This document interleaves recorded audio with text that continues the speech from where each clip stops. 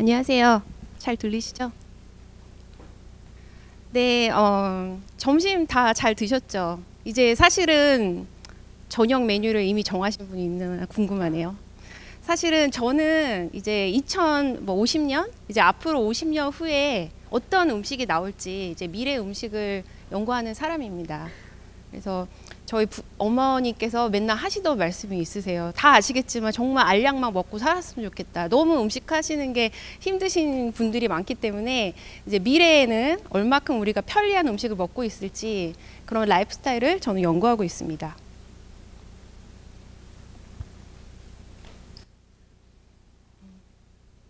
네, 제 이름은 김소형이고요. 저는 스탠포드 대학에서 이제 근무하고 있습니다. 어, 스탠포드 대학 내에 이제 기계공학과 밑에 있는 어, 디자인 프로그램에서 근무를 하고 있고요. 이제 스탠포드 이제 왜 제가 사람들이 물어봐요. 왜 food를 하는데 영양학과나 뭐 어디 뭐 다른 food science나 그런데 속하지 않고 기계공학과에 근무한지 물어보시기 때문에 제가 약간 소개를 하도록 하겠습니다. 그래서 스탠포드 디자인 프로그램은 약 60년 전에 이제 기계 디자인으로 시작을 했는데요. 이제 지금 현재는 상당히 다양한 이제 디자인 연구를 하고 있어요. 로봇 연구도 하고 있고 자율주행 자동차 연구 그리고 도시 재생 연구 그리고 healthcare design 그리고 어, design thinking 연구 자체를 하고 있고요. 그리고 마지막으로 제가 이끌고 있는 이제 food design 연구 프로그램이 있습니다. 그리고 여기서 이제 스피노프 된 프로그램 중에 하나가 d.school이에요. 어, d.school 많이 들어보셨을 것 같은데요. 한국에서도 이제 좀 인기가 있어서 많이 보러 오시더라고요. 어, 지금 보시는 거는 이제 d.school의 이제 auditorium 모습이고요. 예, 저희가 이제 그래도 이제 design school이다 보니 이제 스튜디오 형태로 굉장히 open space에 이제 디자인 어, spa, space도 저희가 디자인을 해가면서 이제 수업을 하고 있고 굉장히 이제 여기서는 이제 디자인을 공부하지 않는 학생들도 디자인 사고 방식, design thinking을 배울 수 있는 그런 어, 교육을 하고 있습니다. 그래서 어, 여기 가시면 뭐 의대 학생들, 철학과, 사회학과 통계학과 이제 각종 여러 학과 학생들이 모여서 디자인 문제를 풀어보는 그런 이제 어, 클래스들을 들을 수 있습니다. 제가 이제 이끌고 있는 어, lab은 스탠포드의 Food Inno Lab인데요. 어, 저와 함께 이제 일곱 명의 학생들이 다양한 background를 가지고 이제 어, 이제 연구를 하고 있습니다. 그래서 사실은 food가 나중에 계속 나오겠지만 어, 어, 사실 이제 스탠포드에서도 food 학과라는 게 없고 그러다 보니까 굉장히 이제 학제적인 그런 토픽을 가지고 저희가 연구를 하게 되는데요. 제 background를 조금 소개를 드리면 좀 이해를 하실 수가 있을 것 같아서 좀 소개를 하려고 합니다. 아까 김윤 박사님께서 굉장히 음악에 대해서 얘기를 많이 하셨는데 사실 저도 음악을 굉장히 오래 했거든요. 그래서 저는 이제 어, 고등학교 가기 전까지 한 15년 동안 이제 사실 바이올린을 어, 프로페셔널하게 사실 공부를 하던 사람이었고요. 근데 대학교를 이제 심리학과를 가게 됐어요. 근데 심리학과를 이제 사실은 예, 예능에서 이제 대학을 가다 보니까 어 사실은 이제 제가 인문계가 잘 맞는 줄 알고 심리학과를 지원해서 갔는데 어 제가 사실 심리학하고 정말 안 맞는 사람이더라고요. 그래서 가서 참 방황을 많이 했어요. 그래서 자, 가서 조금 잘 어울리지도 못하고 공부도 사실 좀 재미가 없고 거의 좀 상담 심리학에 많이 초점이 맞춰진 과여가지고 갔는데 이제 제가 다른 사람들의 문제를 계속 들어주는 것도 사실 너무 힘이 들고 그래서 제 미래가 그려지지 않, 않았는데 우연하게 제가 정보 시스템 뭐 computer science 이런 과목들을 조금 듣게 됐거든요. 그러다 보니까 사실 이런 이과적인 그런 어, 쪽에 관심이 많이 생겨서 제가 부전공으로 그런 공부를 하고 되게 운이 좋게 이제 시스코라는 회사에 이제 네트워크 엔지니어로 입사를 하게 됩니다. 이제 그 당시에 굉장히 시스코가 지금 현재 뭐 구글, 애플 같이 되게 잘 나가던 잘 나가던 시절이었어요. 그래서 그래서 되게 운이 좋게 정말 실리콘밸리로 바로 취직을 했거든요. 그때. 그래서 거기서 이제 교육을 다 받고 이제 한국에 복귀해서 몇 년 이제 일하다가 제가 이제 어, 벤츠라는 회사하고 파나소닉 그래서 이제 그 독일하고 이제 산호세에 있는 랩들을 거쳐서 다시 학계로 가게 됩니다. 그래서 사실은 제가 실리콘밸리에 원래 살다 오다 보니까 학교도 거기에 있는 곳을 너무 가고 싶어서 이제 지원을 했어요. 근데 스탠포드에 처음에 지원을 했는데 그때 다 떨어지고 그래서 이제 약간 재수를 하기 위해서 제가 영국에 있는 학교에 이제 1년 동안 석사를 하면서 어, 다시 스탠포드 다시 다음에 운 좋게 들어가서 이제 공부를 하고 이제 거기서 석사를 하고 이제 버클리에서 박사를 받게 됩니다. 이제 처음에는 맨 처음에 공부하러 갔을 때는 제가 이제 어, 기계공학 그쪽으로 공부하기 위해서 자동차 쪽을 굉장히 많이 봤는데 보다 보니까 너무 또 재미가 없어진 거예요. 그래서 제가 원래 여행을 굉장히 좋아해서 한 60여 개 이제 아주 그 대학 아, 나라를 구경하러 다녔었거든요. 그러다 보니까 자연스럽게 이제 요리에 굉장히 관심이 많이 생기고 음식 문화에 관심이 많이 생겨서 제가 박사 과정 때 이제 그 food 쪽에 완전히 빠져가지고 topic을 이제 food로 잡게 됩니다. 제 얘기를 약간 드렸고요. 저희 lab에서는 이제 미래 음식에 대해서 이제 연구를 하고 있습니다. 그래서 초창기 쪽 이제 프로젝트는 저희가 이제 나사 쪽에 나사의 이제 우주인 식량을 이제 연구하는 그런 프로젝트 하게 됐어요. 그래서 혹시 우주인 한 끼 식량이 얼마나 되는지 아시는 분 있으신가요? 2만 원이요? 100만 원이요? 네, 사실 이게 한 끼 식 량이 그러니까 한 끼씩이 이제 얼마 되냐면 미국 돈으로 만 불이에요. 그러니까 한국 돈으로는 약 1,200만 원이죠. 굉장히 비싸죠. 이제 거기에 들어가는 R&D cost가 다 들어간 거긴 하지만 가장 많은 이제 부분을 차지하는 건 수송비입니다. 그러니까 여기 지구에서 이제 우주까지 이제 완전하게 보낼 수 있는 그 기술에 사실 굉장히 많은 이제 커스트가 들어가요. 그래서 보시면 이게 이제 일상 일반적인 그 우주인 식량의 모습이고요. 그래서 이제 그 나사에서 어떻게 이제 수송비를 좀 줄일 수 있을까 하는 연구를 어, 하려 하다가 이제 2013년에 어, 내부 그 팀을 launching하게 됩니다. Food in Space. 이제 우주에서 먹는 이제 그런 food innovation을 어떻게 할 수 있을까? 그래서 저희 어, 스타트업하고 저희하고 좀 연구를 한게 이제 그러면은 이제 3D 프린터를 음식을 찍을 수 있는 3D 프린터를 이제 우주 정거장에 보내서 거기서 이제 매 매끼 이제 음식을 찍어서 우주인들한테 정, 어, 전달하면 어떨까? 그래서 이제 처음으로 이제 그때 피자를 찍었어요. 그리고 미국인들이 제일 좋아하는 피자, 그 다음에 이제 그 다음에 버거를 찍게 되죠. 그래서 이제 캡슐 형태로 음식에 이제 그 어, 음식에 그 거기다가 이제 비프도 넣고 채소 추출물도 넣고 이제 뭐 밀가루 넣고 해서 거기서 이렇게 찍 모양을 찍고 그러니까 여기서 이제 지구에서 이제 그 도안을 보내면 우주에서 찍고 그거를 이제 오븐에서 다시 구워서 이제 전달하는 행, 형태로 이제 어, 전달이 됩니다 우주인들한테. 그리고 이거는 굉장히 빠르게 상용화가 돼서 지금 현재 가정용까지 이제 3D 프린터가 이제 food 쪽으로 나오고 있습니다. 그래서 지금 되게 많이 쓰이는 것은 이제 셰프들, fine dining에 이제 어, 셰프들이 굉장히 어려운 도안을 그릴 때, 예, 디저트에 굉장히 어려운 이제 그림을 그릴 때가 있거든요. 그럴 때 이제 3D 프린터를 사용하고요. 또 이제 뭐 파스타나 초콜릿 디저트 만들 때 이제 프로토타입 할 때 많이 쓰입니다. 그리고 지금 미래에 좀 더 이제 가, 이제 크기가 작아지면 이게 전자 전자 렌지 전자레인지 사이즈하고 똑같이 돼서 그걸 대체하지 않을까.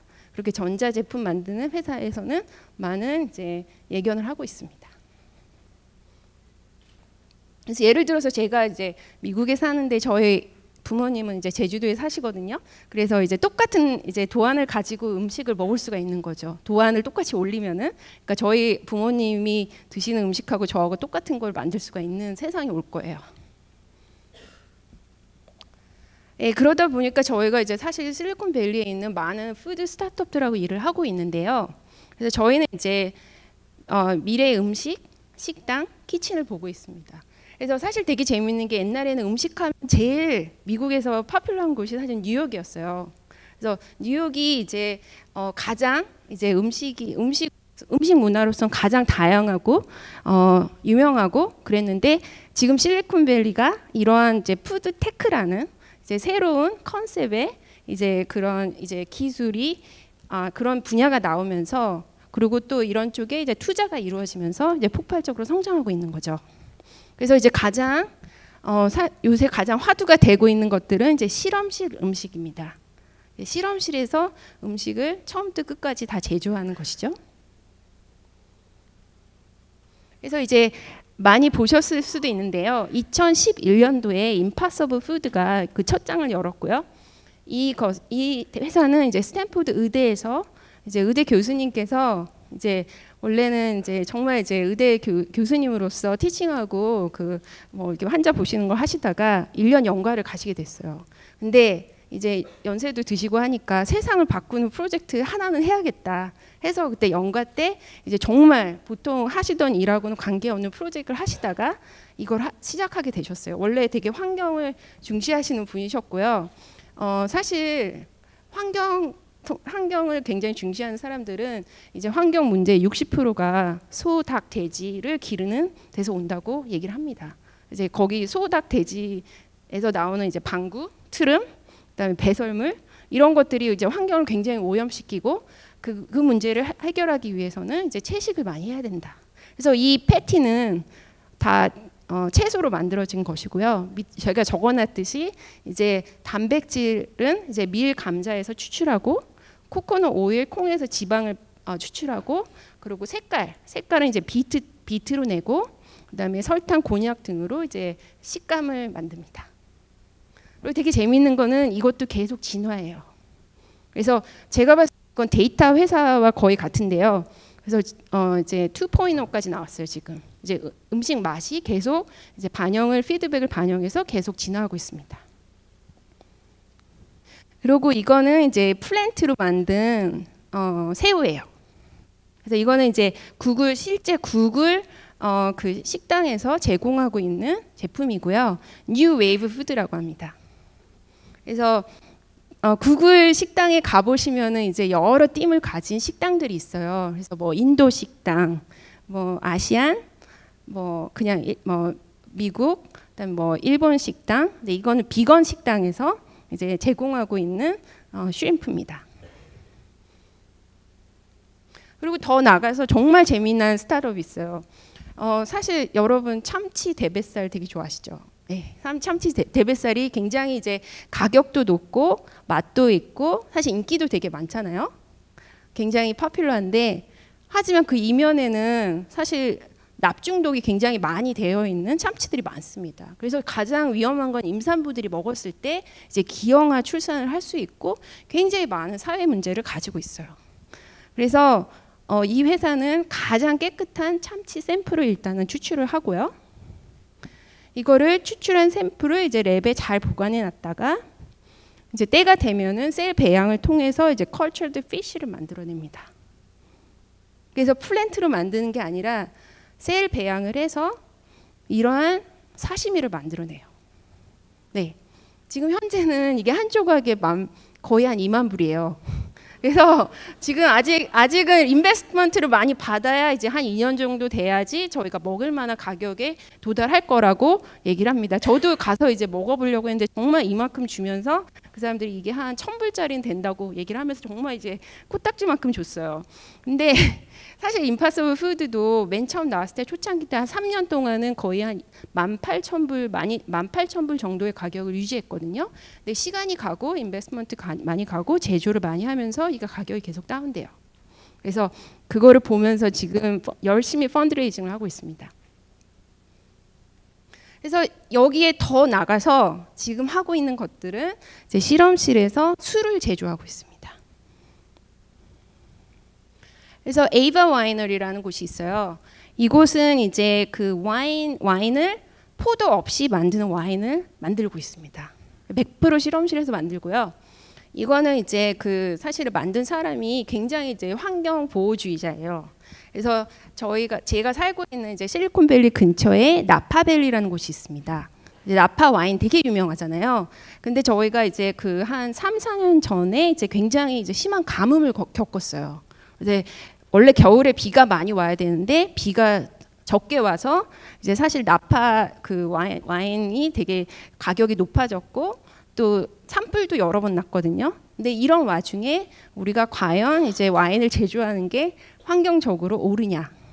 그리고 이제 그 와인을 만들기 위해서 조금은 이게 포도나무를 기르는데 포도나무 한 그루 기르는데 이제 물이 1톤 정도 들어가요. 어마어마하죠. 예. 그래서 여기 같은 경우는 또 되게 재미난 게 이제 와인 중에 굉장히 비싼 와인들이 있습니다. 이제 와인 옥션에 가야지만 살 수 있는 와인들이 있어요. 그래서 그런 와인은 이제 5천 불 이상이 한 병에 5천 불 이상, 500만 원 이상 되는 와인들이 있어요. 여기도 이제 비싼 와인 많이 드시는 분 계시겠지만, 그래서 그런 와인들은 사실 되게 구하기도 힘들고 또 이제 사람들이 굉장히 이제 맛을 보고 싶어 하고 나 한 방울이라도 먹어보고 싶어 이제 막 맛을 보고 싶어 하고 그런 사람들이 많거든요. 그래서 그런 희귀한 와인들을 한번 우리가 복제해서 와인의 민주화를 이뤄보자. 그렇게 해서 시작된 프로젝트입니다. 그래서 여기서 맨 처음에 했던 프로젝트는 이제 1992년도에 돈페리뇽 이제 시가로 한 221불로 팔리고 있어요 지금. 근데 이거를 20불 정도의 가격으로 이제 복제를 했습니다. 예. 그래서 더 놀라운 거는 이거는 여기 제가 적어놨듯이 이제 85%는 물이고요. 23%는 에탄올, 나머지 2% 가지고 이제 색감, 식감, 탄닌을 이제 내는 거고요. 그리고 이제 블라인드 테이스팅을 해가지고 정말 이제 돈페리뇽하고 맛이 얼마큼 다른지 이제 소믈리한테 이제 해보라고 많이 했었어요. 그래서 지금 그런 식으로 시도를 하고 있는데 또 되게 재미난 거는 이 회사에서 이제 와인을 사실 생산하는 시간이 15분밖에 안 걸려요. 이제 이 물에서 이 와인을 만드는데 이제 돈페리뇽 가짜 돈페리뇽 복제 와인을 만드는데 15분밖에 걸리지 않습니다. 그리고 지금 현재는 여기서는 분자 위스키를 만들고 있어요.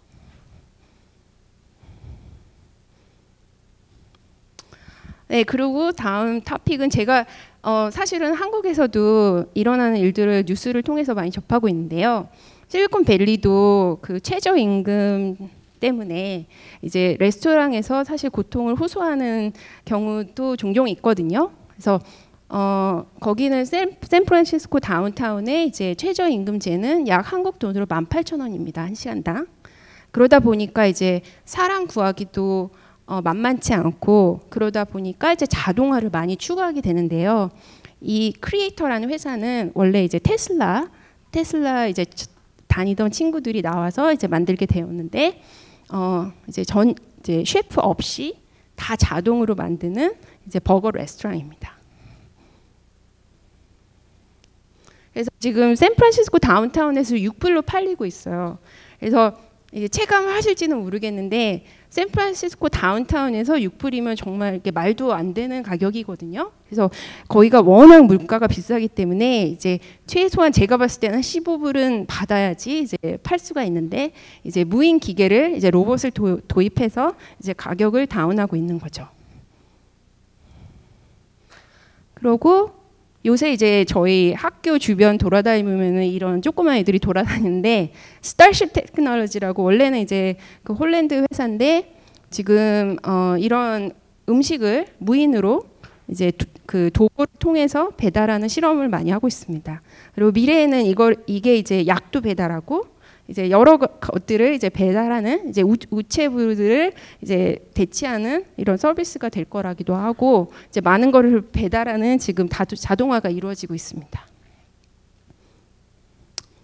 그리고 제가 또 이제 어 되게 재밌게 생각하는 거는 미래 kitchen인데요. 미래에는 이제 ghost kitchen이 나온다고 지금 많이 지금 사실 나오고 있어요. 그래서 워낙 땅값이 비싸기 때문에 한 샌프란시스코에서 한 시간 두 시간 정도 되는 이제 땅값 싼 곳에 가서 이제 크게 central kitchen을 만들어 놓고 거기는 이제 모든 음식을 다 조리해서 delivery로 연결합니다. 그걸 저희가 ghost kitchen이라고 하고요. 한국에서 지금 현재 공유 주방으로 많이 나오고 있어요.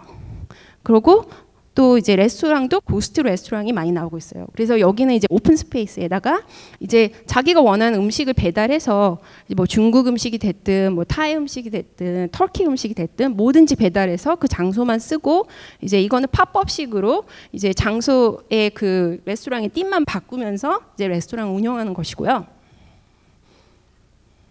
어, 제가 마지막으로 이제 한국 사람으로서 이제 한국의 미래 음식을 조금 생각해 봤는데요. 가장 한국적인 것부터 시작을 하는 게 좋겠습니다. 그래서 사실은 이제 제일 큰 화두가 plant-based food인데 이 사찰 음식이 사실 샌프란시스코에서 굉장히 인기거든요.